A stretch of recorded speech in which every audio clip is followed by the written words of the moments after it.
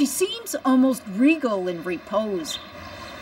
Sitting upon not a throne, but a nest under the cover of a jungle gym. Students at Highfield Junior School have named her Heidi. She just sits down. We get to see a goose in real life. It's not all day you get to see that. Now, in the past, geese have nested on the roof of the school here, but this year, workers repaired the roof, and this goose, for whatever reason, decided right here was the perfect place to nest.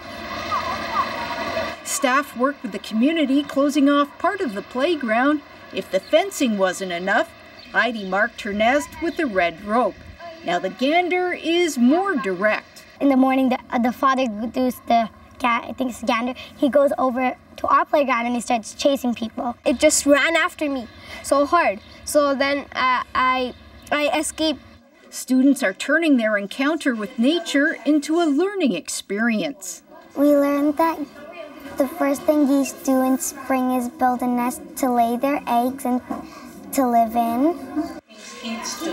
Been great because it's firsthand experience that they're having and we've connected it. You can see they're they're reading fiction and nonfiction information about Canada geese and they've sort of taken it upon themselves. And one of the really cool things about this whole story is that the students have calculated that Heidi's goslings should hatch on Mother's Day. The caretaker told me that it was that she had seen four eggs. We're really expecting the, the eggs to hatch at any time. Okay.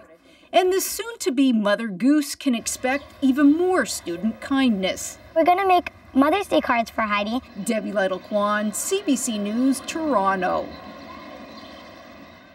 Well, it turns out Heidi's goslings couldn't wait until Mother's Day to hatch. They arrived Thursday evening, five in total with one egg remaining.